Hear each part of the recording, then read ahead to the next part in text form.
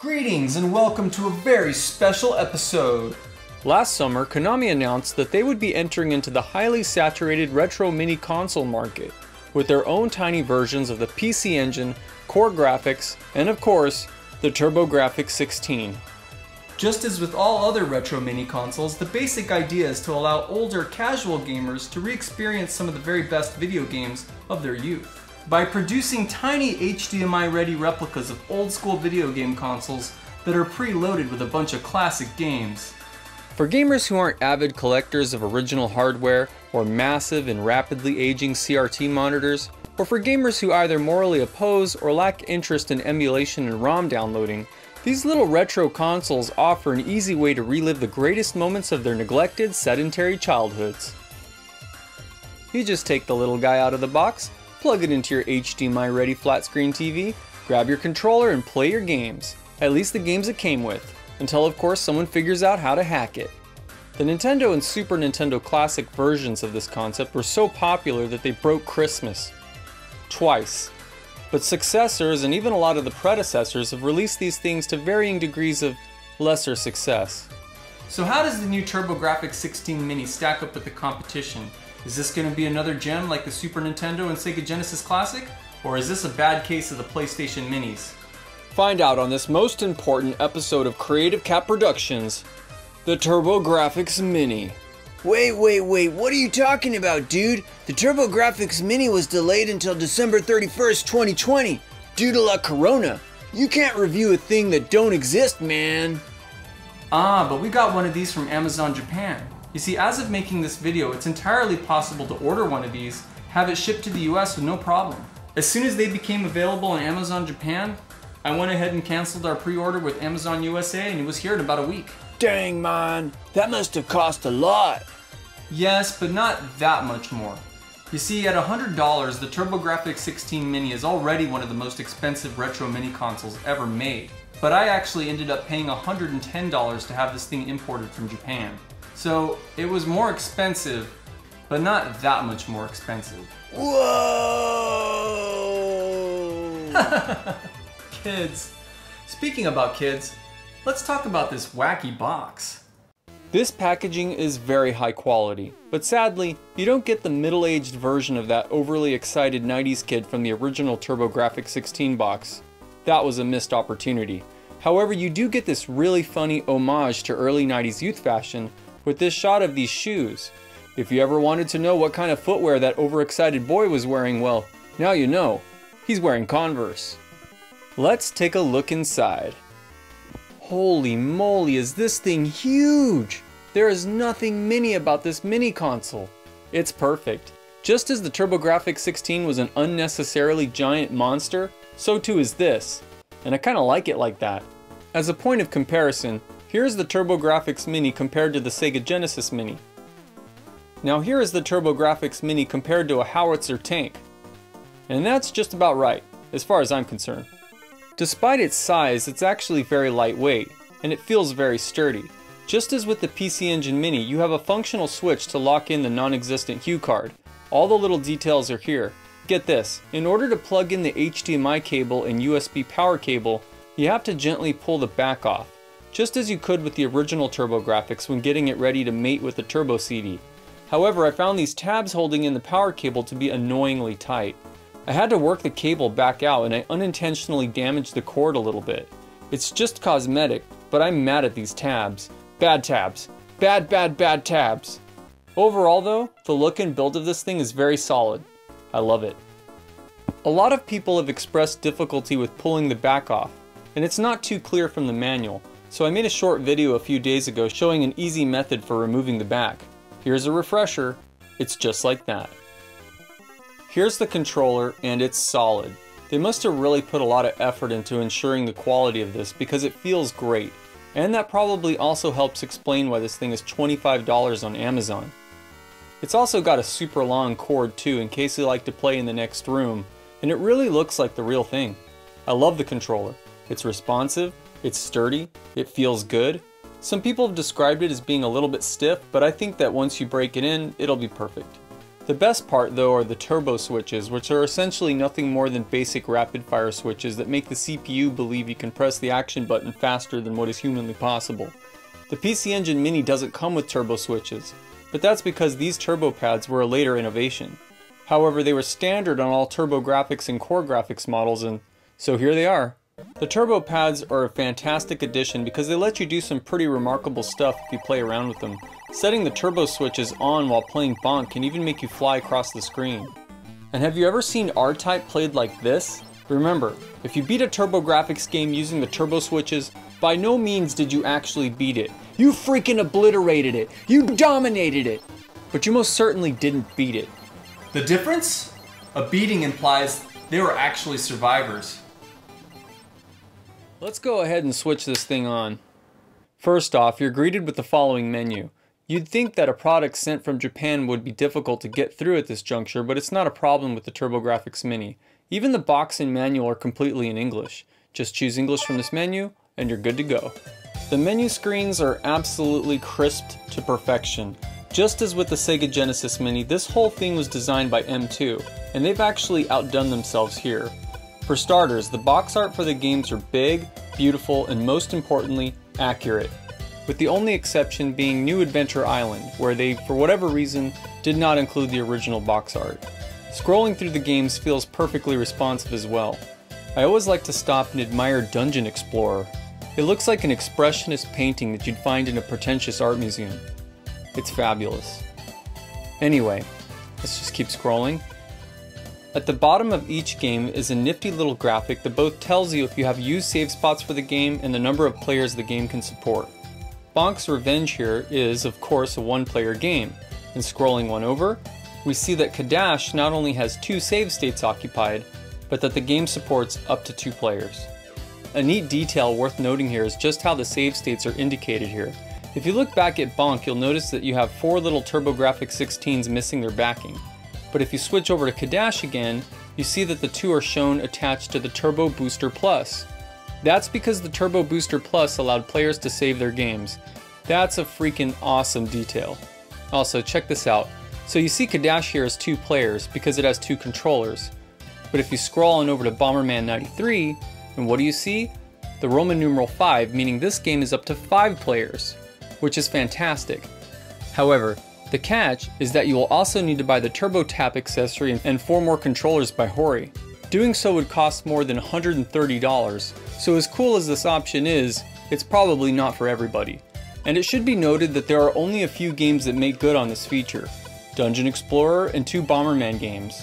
It can also be used for Moto Roader, Super Momotaro Densetsu 2, and Appare Gateball, but you'll see later why these last three games don't really matter. You've probably also noticed by now the TurboGrafx theme going on here. You have a black TurboGrafx runner at the top of the screen with a turbo chip slot, and then you have the classic neon yellow, black, and orange color schemes. It looks very classy. Down here at the bottom of the screen, you'll see a handy little set of menu choices that are easily accessed by simply pressing down on the control pad. As you can see, here are the settings.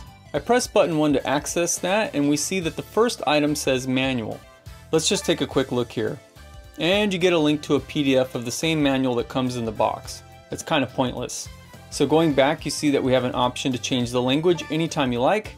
And then there's the display settings, which are interesting. Let's click on that. So you get five different ways to stretch pixels across your modern widescreen TV.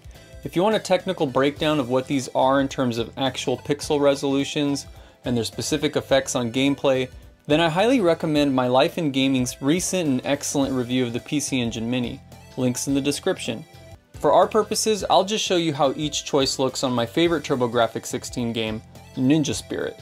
Let's just go with the default display settings for now. Now let's just boot up Ninja Spirit here.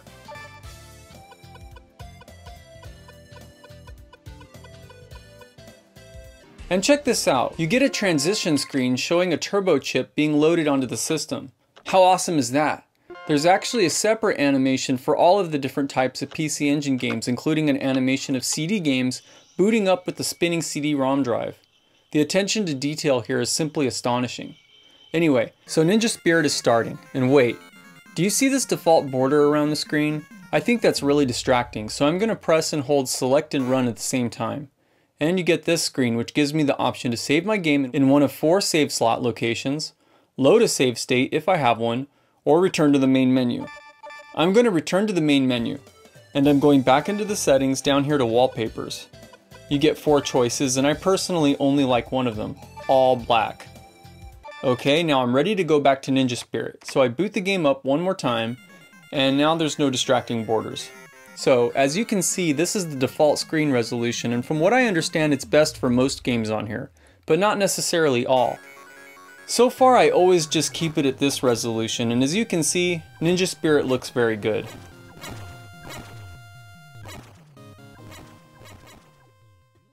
Let's compare the default screen setting to setting number 2, which slightly stretches the screen in all four directions, filling out the top and bottom of the screen. And here's how Ninja Spirit looks in this mode by itself. Pretty good, but I still prefer option 1. Here are both options, side by side.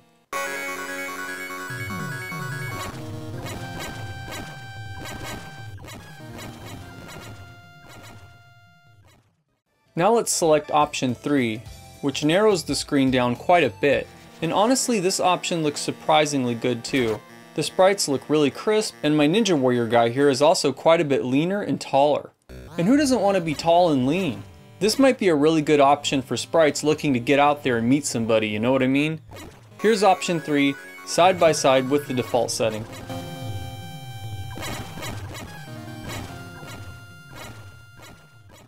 Now let's look at option 4. This is the option that always makes retro purists the most mad full screen mode, which of course stretches the image out into freakish proportions. This is basically the opposite of option 3 and boy, holy cow, as predicted this looks terrible. Just look at the little dog. He's like a little white blob now. And now all the ninjas in the game are short and fat. This is basically Danny DeVito mode. Here's option 4 compared to the default setting.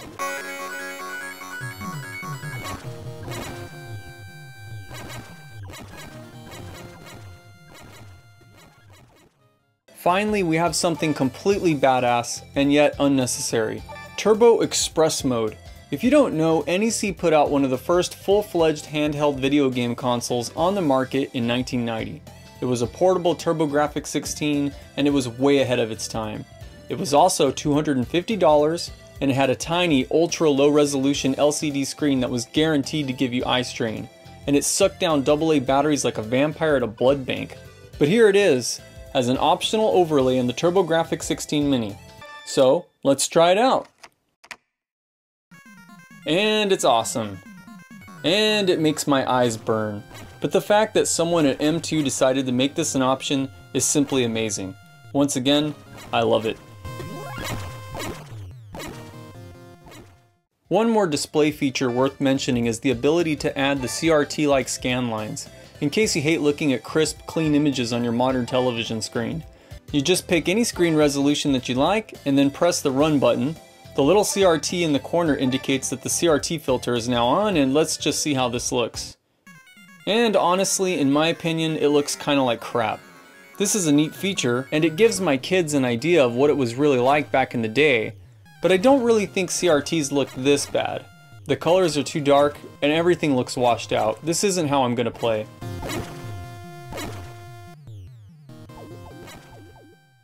A couple more settings to talk about are the menu designs, the credits, and the restore factory settings.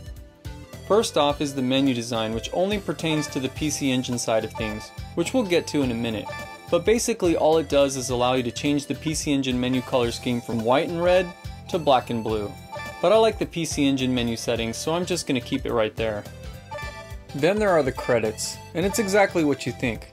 It's credits. Finally, there's the option to restore factory settings, which sets everything back to default and eliminates all of your save states. A feature I love is the fact that it's very hard to do this accidentally.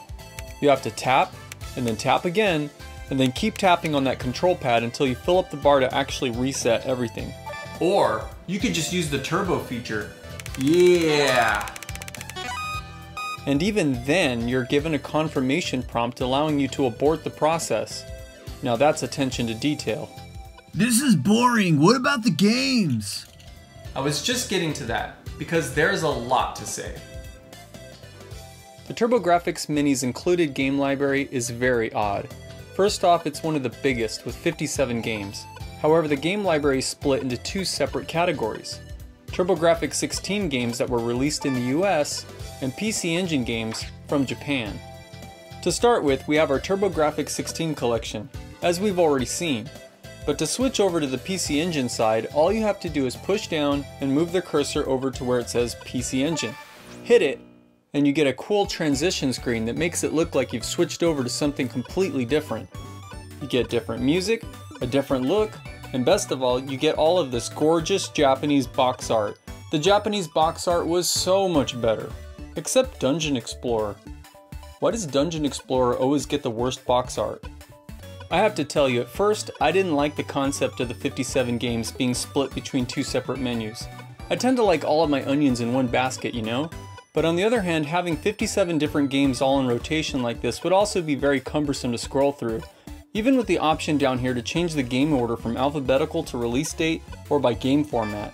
Having the games lumped into two separate smaller sets is actually, practically speaking, a pretty good idea. Thumbs up to M2 on that. The only downside is that you have to constantly remember if the game you want to play is on one menu or the other. For instance, I keep forgetting that Bonk's Adventure isn't on the US side, but is rather here on the Japanese side as PC Genjin. And then it gets weird because on the Japanese side we also have Dungeon Explorer. So remember Dungeon Explorer? You probably recall that it was also on the TurboGrafx 16 side because who can forget box art like that? So yes, as most of you probably know by now, another weird thing about the TurboGrafx Mini was, was that not only did they divide the game library into North American and Japanese categories, but they also opted to include duplicates within both of those categories. Which means that while technically there are a total of 57 games on board, only 52 are actually unique. Neutopia 1, Neutopia 2, Military Madness, Dungeon Explorer, and Ys Books 1 and 2 are available in both Japanese or English. Compounding this weirdness was the decision to include Japanese games that require you to actually speak Japanese in order to play them. Super Momotaro Densetsu 2, Jaseiken Necromancer, and most sadly of all, Snatcher, are only going to be playable for people who are fairly good at reading and speaking Japanese. Further, I'd add Appare Gateball to this category since it has a ton of Japanese menus, and is also a bafflingly awful croquet simulator that probably very few people are ever going to want to play. That brings the functional game library down even further to about 48 games, practically speaking. Which still makes it one of the largest of any mini console. But this also makes it one of the most confusing to navigate by far. Where's Bonk's Adventure again? Did they leave it in Japan? Why is it in Japan? And who the heck is PC Genjin? Another odd and yet extremely welcome aspect of the TurboGrafx 16 Mini's game library is the inclusion of CD, Super CD, and even a couple of SuperGrafx games. For instance, on the TurboGrafx side of things, you can play Ys Books 1 and 2, which was made for the original Turbo CD, a $400 CD player add-on that only the most hardened of hardcore gamers ever owned. That's pretty amazing, but even more amazing is the inclusion of Lords of Thunder, which is a so-called Super CD game that, that required you to either own a Turbo Duo or purchase a separate RAM expansion card for your TurboGrafx CD setup. Switching back over to the PC Engine, there are actually a lot more CD and Super CD games included. They even included the highly collectible Ginga Fukei Densetsu Sapphire, a very late CD title that required yet another expansion card called the Arcade Card. All these games requiring all these additional pieces of hardware and RAM cards almost makes the TurboGrafx Mini feel like it includes games from multiple systems under one roof. Oh wait, these are two games for the SuperGrafx, which really was a completely different system, a failed successor to the PC Engine that never went anywhere. In fact, you're looking at roughly 50% of that system's entire game library. Whoa. Right, so it turns out the TurboGrafx 16 Mini is really strange. It seems like it's not really a TurboGrafx 16 Mini at all. It's practically more of an NEC Hudson Soft Mini. It has a collection of games across multiple platforms that represents a unique period of time in which Hudson and NEC were still viable contenders in the home video game market. So it's actually like a Turbo PC Engine Super CD Arcade Graphics Mini. Or you could just call it a Turbo Duo Mini with the arcade card. I mean, it's kind of weird that less than half of the games on here are actually technically TurboGrafx 16 games. That's amazing. It's like if Nintendo released the NES Classic, but there were over 50 games, and 60% of the games were actually from the Super Nintendo and the Game Boy. Imagine how awesome that would have been. That's basically what we're dealing with here. And I can't say I'm complaining.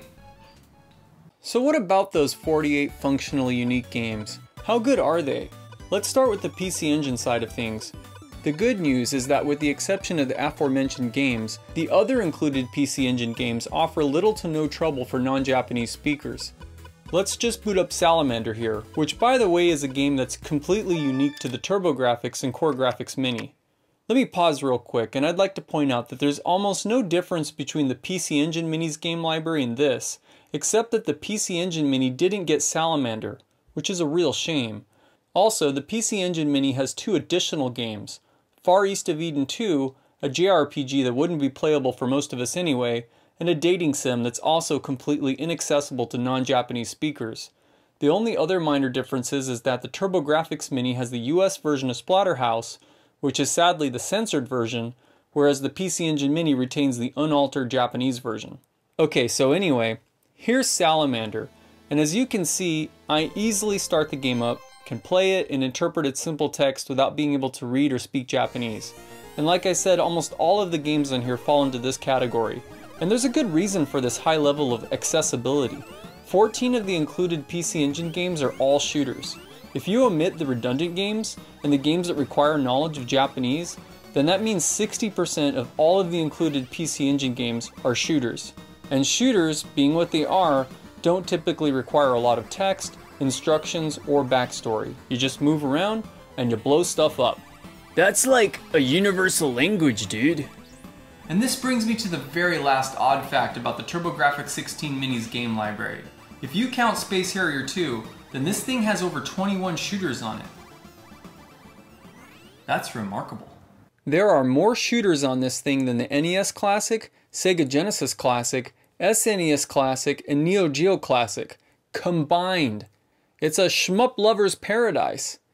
Standout titles include Blazing Lasers, the American version of R-Type, which is the complete version, Air Zonk, Soldier Blade. We already mentioned Lords of Thunder, Fantasy Zone, which is a Sega game, that's pretty badass. Space Harrier, which is also a Sega game, though both of these were ported by NEC. Sapphire, two different Spriggan games,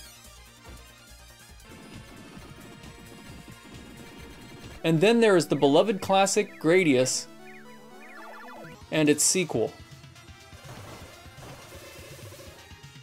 That's only about half of the shooters that are on here. The point is, there are a ton of fantastic shooters on the TurboGrafx 16 Mini. If you're into old school retro shooters, then this thing was practically made for you. However, the heavy emphasis on shooters means that other popular genres have sort of taken a hit here. I mean, if you have room for 48 functional unique games, but 21 of them are all shooters, then that doesn't give you a ton of room for the other big game genres from the 90s. But it still gives you room for at least 27, and that's still not too shabby. Do you love JRPGs? Well, the TurboGrafx Mini does have Ys Books 1 and 2, which is widely regarded as a classic of the genre. And when I say classic, I mean it. Because this is actually a compilation of two different games that were originally made for Japanese home computers way back in 1987. The first game, Ys 1, originally came out a year after Dragon Quest. It came out about six months before the original Phantasy Star, making Ys not just an old JRPG, but among the very first to ever exist. As a unique piece of video game history, with stellar music I might add, it's a game that I highly recommend. However, that being said, I also have to admit its many shortcomings, including poorly developed storytelling and characters, primitive graphics, and a truncated length and lack of complexity. Also, there's the game's infamous bump mechanics, wherein you fight monsters by simply bumping into them. Imagine playing The Legend of Zelda, but instead of getting to swing your sword, you just walk into a bunch of enemies until either they die or they drain too much of your health and you have to run away. That, like, kinda sucks. If you're looking for a rich, text-heavy adventure akin to Final Fantasy or Phantasy Star, then you're probably going to be disappointed in this. It's not that kind of game, and it's the only real RPG included here that's in English. Okay, well then what about fighting games? There aren't any. Not even one. Alright then, well what about beat 'em ups? Didn't they have a port of Double Dragon 2? That's like my favorite game, dog. Sadly, Double Dragon 2 is not on here, but there are three other games that can sort of be construed as beat 'em ups if you squint under just the right light. On the PC Engine side, there's The Kung Fu, which we knew as China Warrior over here in the US. This is a frequently maligned upgrade to Irem's Kung Fu, featuring massive screen-filling sprites that were extremely impressive in 1987. In 1987. Today, to most people, this game looks and plays ridiculous with its choppy animation and unbelievably stupid enemy encounters with things like rocks, butterflies, sticks, more rocks, and Trappist monks who are just trying to live a life of beer making and quiet contemplation until Bruce Lee comes along and just decides to wreck them. But honestly, this game actually plays pretty good and has some awesome music. It is far from awful, but it's also far from what anyone would call good. I'll say, this looks terrible. Okay, well there's also Genpei Toumaden by Namco. Check this out.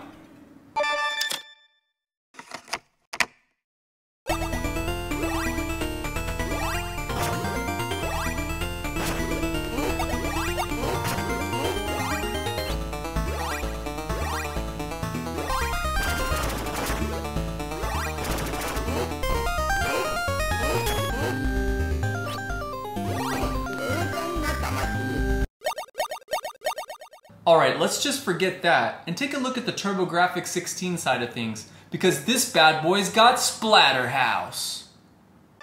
Splatterhouse is a horror-themed arcade beat-em-up from 1988 that allows you to play as Jason Voorhees on a mission to save his girlfriend from horrible mutants and monsters. Except this is the US version where you get a purple hockey mask and there's some censorship of religious imagery. But the game still plays great, with simple fighting mechanics and creative levels with spooky atmosphere that's guaranteed to scare away your little sister. This is one of the mandatory titles for the TurboGrafx 16, and frankly, I love it.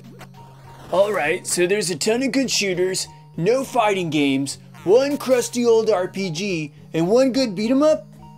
Basically. But I still wouldn't call Ys crusty. It's more like vintage. Okay, dude, then what about sports games? Well, we got Appare Gateball and Power Golf. So, no sports games then? No, not really. But At the same time, you shouldn't be too quick to dismiss Power Golf. It was developed by Hudson Soft themselves and features up to three player competitive gameplay across 18 different. Wait, it's a golf game, right? well, yeah. Then who cares? What about racers? Racing games. I'm glad you asked. Because on the TurboGrafx 16 Mini, there's no less than two. First, there's Victory Run, a neat cross country racer intended to recreate the experience of the Paris Dakar Rally, a real life cross country motor race that starts in Paris, France and ends up on the beaches of Dakar, Senegal. The scrolling graphics are remarkably smooth considering the hardware it was designed for, and it's got an even smoother soundtrack. The only problem is that the game places a heavy, and some might say too heavy emphasis on resource management, making progression an exercise in blind guessing and frustration. And then there's Moto Roader.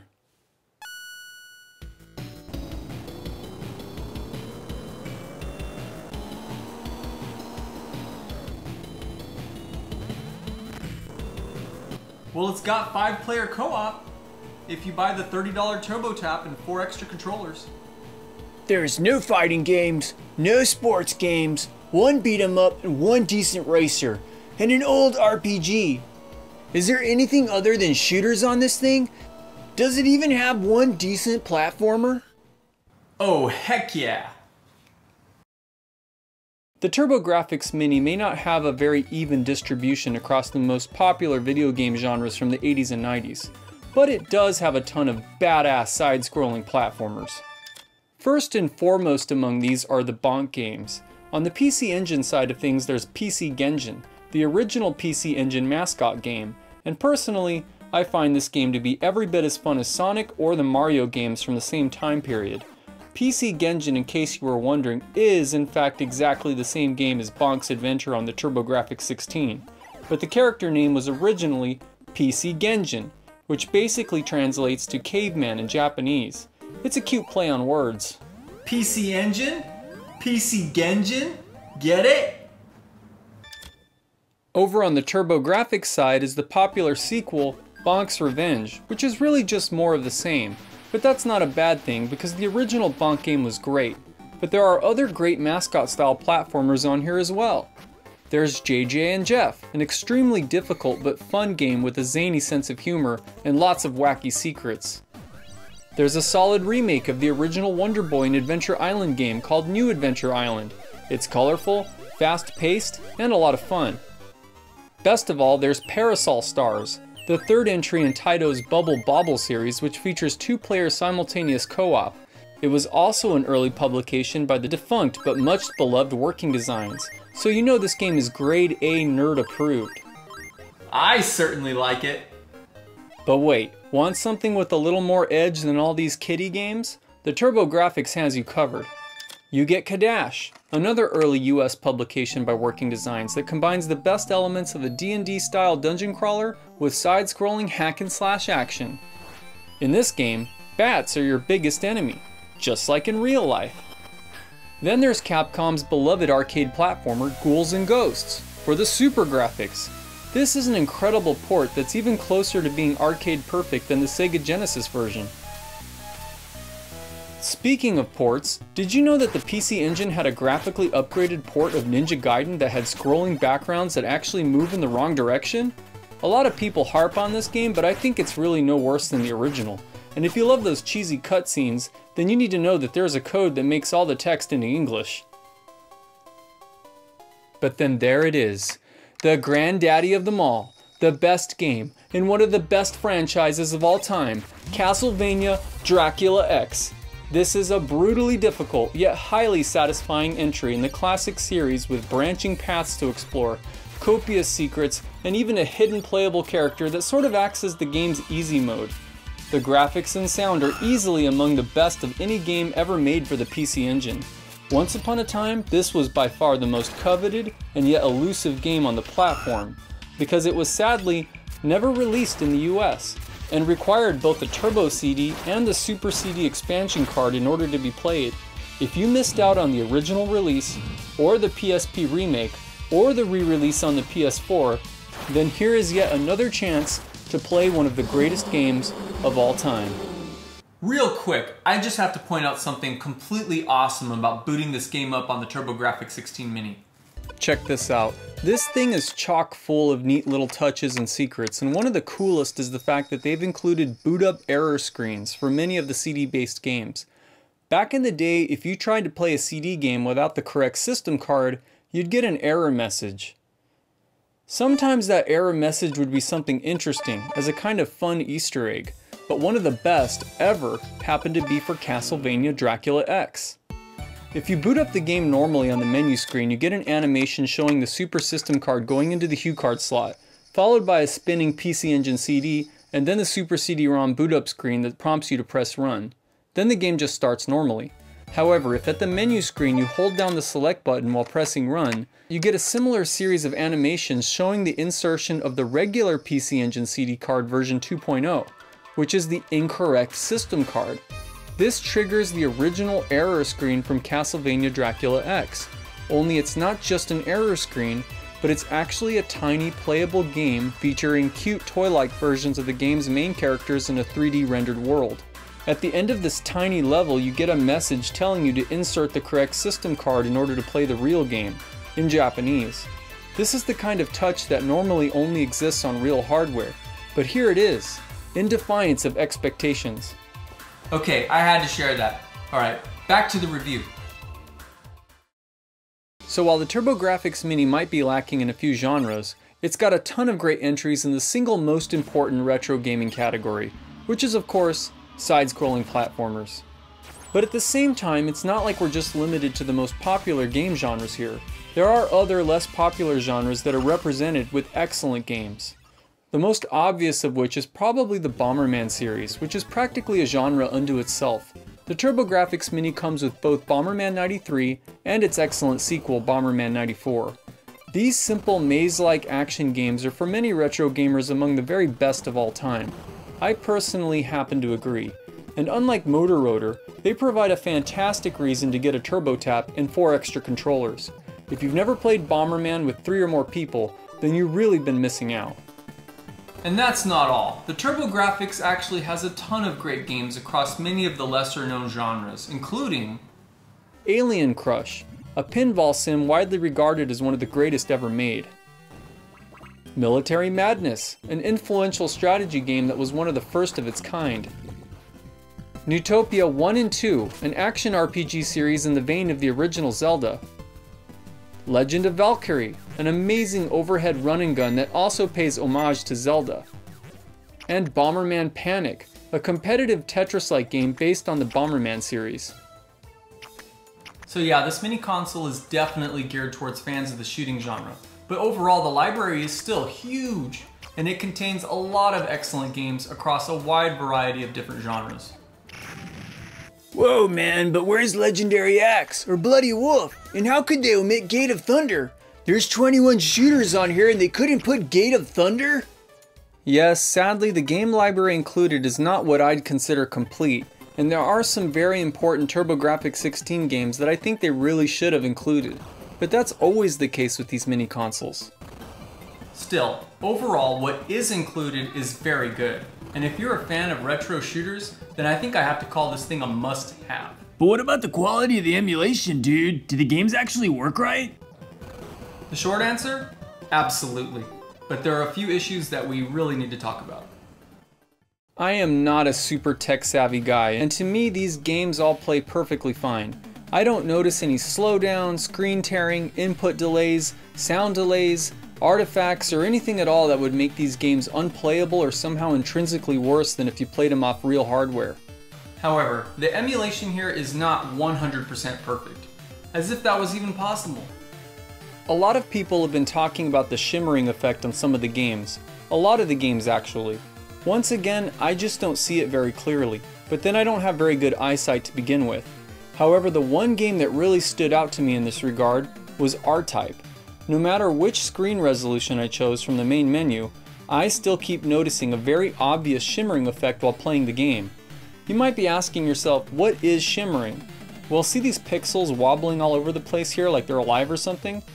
Those aren't supposed to do that, and it's because the original R-Type game was made at a pixel resolution that, that doesn't quite match any of the options available here. And while it's definitely noticeable, it doesn't really ruin the game for me.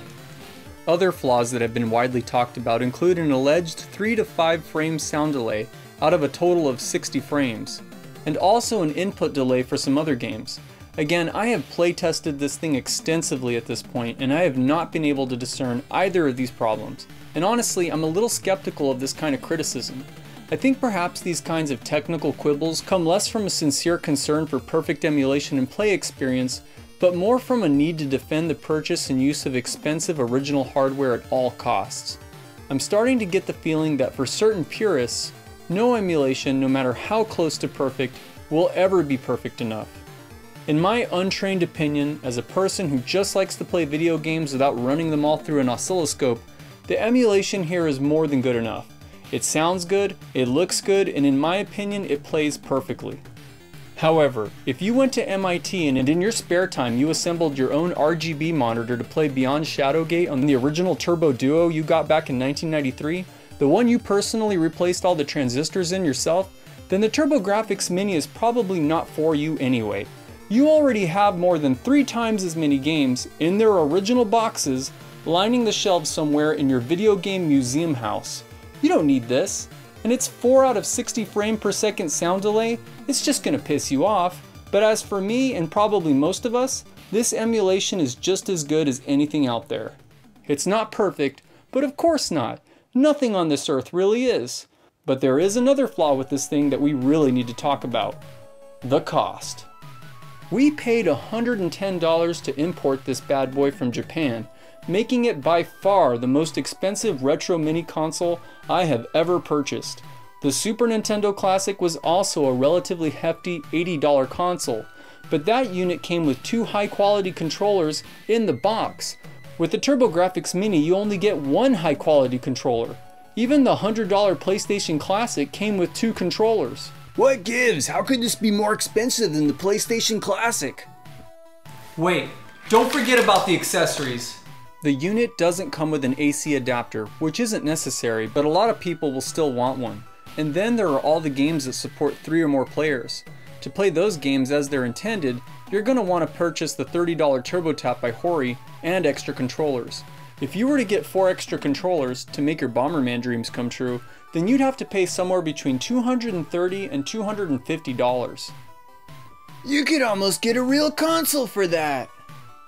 True. And even if you're not interested in 5-player Bomberman or 5-player Dungeon Explorer, you're still probably going to want to get a second controller to play all the 2-player games. That puts this thing about $125 minimum. And that's pretty crazy. On the other hand, for many people, this is still probably the single best way that they're ever going to play or replay these classic games. A lot of people are opposed to downloading ROMs from sketchy websites, and collecting real hardware is extraordinarily expensive cumbersome and time consuming. A working Turbo Duo which combines the TurboGrafx and Turbo CD into a single unit can cost between $300 and $400. Getting a proper working monitor setup is also becoming more expensive and is a cumbersome task for people who aren't devoted to retro gaming full time. Then there's the cost of the games. TurboGrafx and PC Engine games are often very expensive on the collector's market. Soldier Blade here goes for hundreds of dollars. So does Castlevania. Sapphire can cost over $1,000. The game library included on the TurboGrafx Mini would potentially cost tens of thousands of dollars in the form of authentic hardware and original software. So even though the retail price for the TurboGrafx Mini is high, too high even, it's still actually a good deal for non-collectors who also want to experience nostalgia or enrich their understanding of gaming's golden age from the mid-80s to the mid-90s. There's no doubt in my mind that the TurboGrafx 16 itself represents the greatest and truest of gaming's so-called hidden gems, and the TurboGrafx Mini does that legacy justice. Do we recommend the TurboGrafx Mini? Yes, enthusiastically, we recommend the TurboGrafx 16 Mini, even at the current retail price. The TurboGrafx Mini is a beautifully constructed, accurate representation of one of the greatest game consoles of the 90s. Some may balk at the size, but we feel that the large size perfectly encapsulates the spirit of the original design. It comes with 48 functionally distinct games, most of which range from good to great, and if you're a fan of old school shooters, the quality and breadth of this particular game library is simply too good to be missed. Also, M2's incredible attention to detail shines through at every level, offering not only what is by far the best menu interface of any retro console on the market to date, but more Easter eggs and hidden touches than I can even cram into this massive review. I still haven't even mentioned the fact that this thing comes with 5 to 6 secret games depending on how you count them. Well, it does. Surprise! Using a simple input code, you can also play so-called near arcade versions of Fantasy Zone, Gradius, and Salamander, all three of which are simply astonishing additions for hardcore shooting fans. Also included are two fun mini games that were also on the PC Engine Mini, Twin TwinBee Returns and Force Gear. For all of this, in spite of its few shortcomings, we are forced to give the TurboGrafx 16 Mini our highest recommendation. 5 out of 5. If you have ever wanted to experience the TurboGrafx 16 or the PC Engine, but you are reluctant to do so because of the high cost of collecting, then this mini console is definitely for you. And if you're a fan of shooters, this is definitely a must-have for you. If, however, you already own these games on original hardware, then this is probably not for you. But for our family, it's been a huge hit, and we've been playing every day. And for me personally, because of its history, because of its scope and attention to detail, I have to crown this as my new favorite of all the retro mini consoles that have come before it. It's fantastic. So, have any of you been playing the TurboGrafx 16 Mini since it came out in Japan? Let us know what you think about it in the comments. And as always, thanks for watching. We really appreciate it. Bye now.